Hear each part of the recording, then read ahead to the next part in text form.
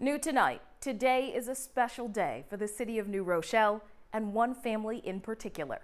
News 12's Carol Wilkinson takes us to today's celebration. Yeah, we first heard about Durrett Bowman. Take a look at him. There he is standing right there. In July, when the then four year old fell from a New Rochelle apartment building.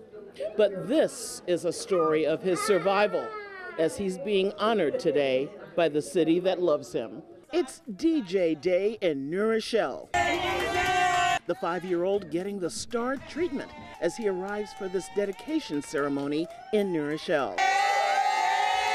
But it wasn't that long ago when DJ, who is autistic and nonverbal, lay in the hospital fighting for his life after falling from a New apartment building in July.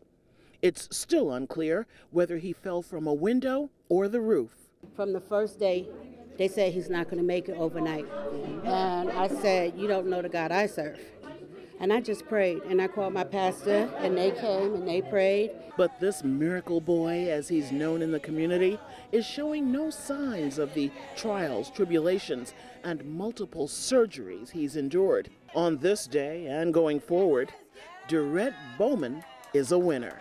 I, Noam Bramson, Mayor of the City of New Rochelle, do hereby proclaim Saturday, November 12th, 2022, as Durrett DJ George Bowman Day in the City of New Rochelle.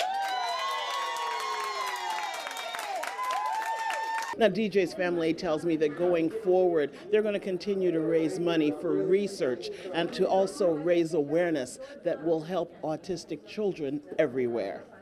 In New Rochelle, Carol Wilkinson, News 12.